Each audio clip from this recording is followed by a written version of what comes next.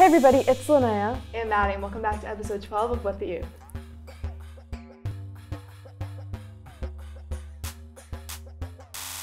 So today's video is space themed, so we thought that we would do a bunch of space activities, go over some space facts.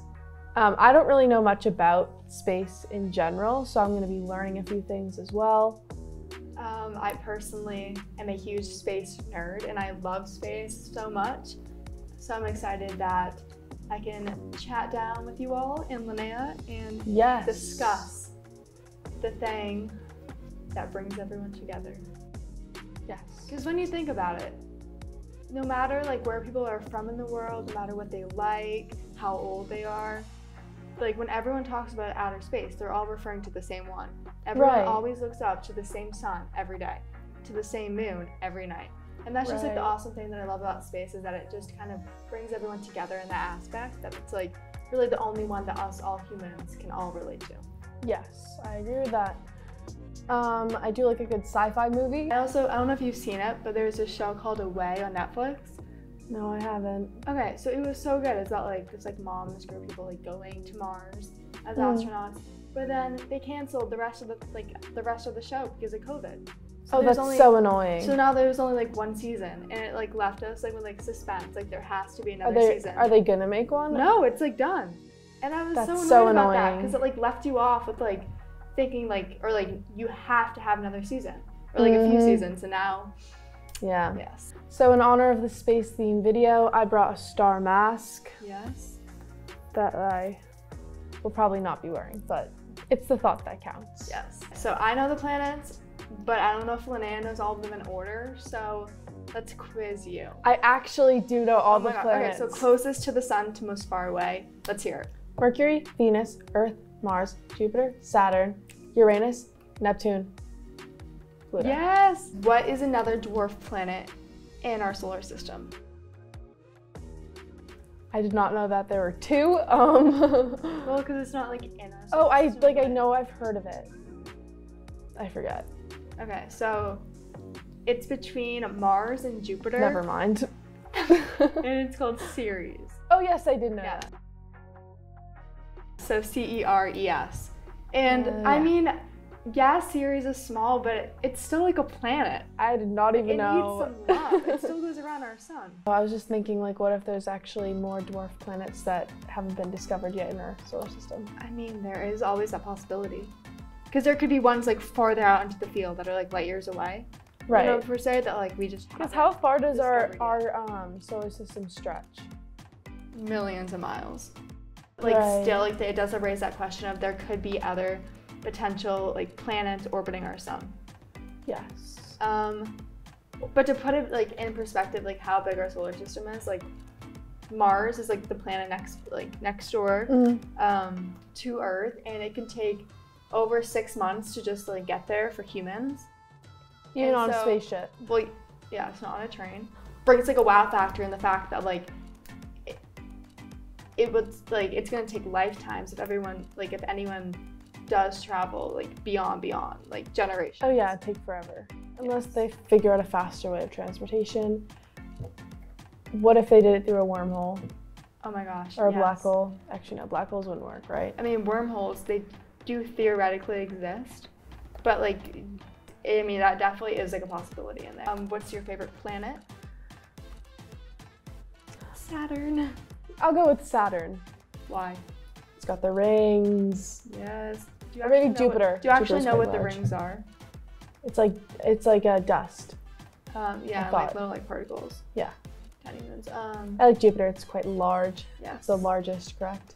It actually you can fit over like more than over a thousand Earths inside of Jupiter. That's crazy. Um, and do you know the big spot in Jupiter? Yes. That spot, it's a storm that's been going on for a very, very long time. But that spot is three times um, the size of Earth, which is crazy because like when you just look at Jupiter, it's just like a dot. You like you think nothing of it, but Yeah. like that is three times of Earth. That's crazy. Personally, I do love. Okay, Saturn's my third favorite planet. Um, What's your first? obviously Earth. Like I have two first, but like I love Mars just because like We've explored. that's we've like explored the, that yeah. and that's gonna be soon. In like the early 2030s, like hoping to send humans there. I do love Saturn because it has a moon called Titan. Have you heard of Titan? Yes.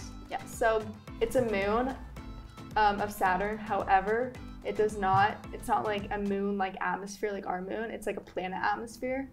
oh, and it Oh, I has lakes see. of methane. Take a while to get there. I don't think that there's any clothing that could protect you from that coldness. Um, well, mankind can make it. But yeah, I definitely love Mars. Mm-hmm. Did you know that Mars, they have blue sunsets and sunrises? That's so pretty. Because it's the way that like the sun like reflects on like that atmosphere. Oh, that's so cool. I know. Dude, Star Wars with their planets and they have like two Yes, suns. the massive ships that just like live in space. That'd be so cool. That's like the future. Yeah, but every planet is very extraordinary and it's very all planets are extremely in our solar system different to Earth, which makes it so like entertaining and like really eye-opening to talk about. hmm Um, but yes. I recommend watching like a space movie if you're not really into this topic. I think Yeah, I like can get you started. The Martian is good. Of yeah, course, that's just based on Mars.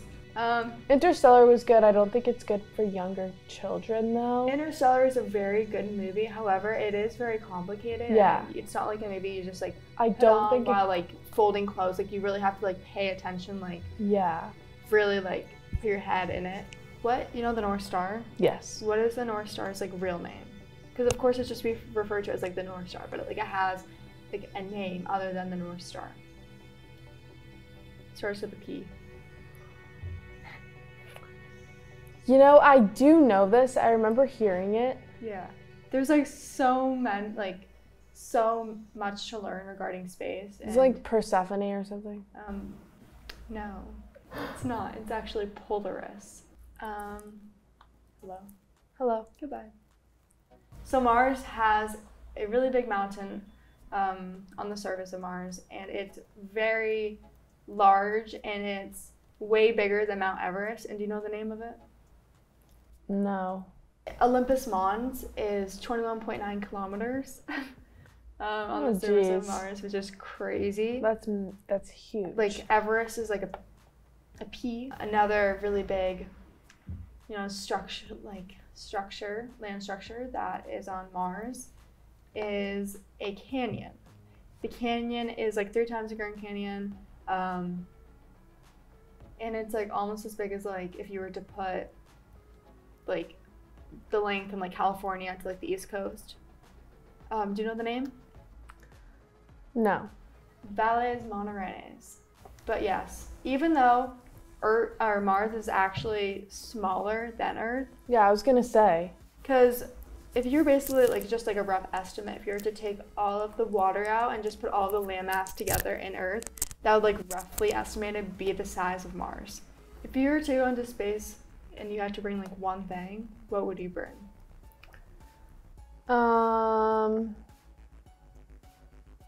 Like it's just like yourself. You're given like a pair of like clothes. Like all the all the essentials. What's like you're literally just given like a pair of scrubs and you only have to bring one thing what would you bring and like you don't have anything else like you you know that's all you have bring food. okay Actually, no, I'd bring water. Okay say like water and food are like be given to you Like, Like, what's one thing, item like- that I would just want to like have? the only like personal item that like Oh. that they're not going to supply for you Um. or like a supply of or whatever I'm assuming that there is internet.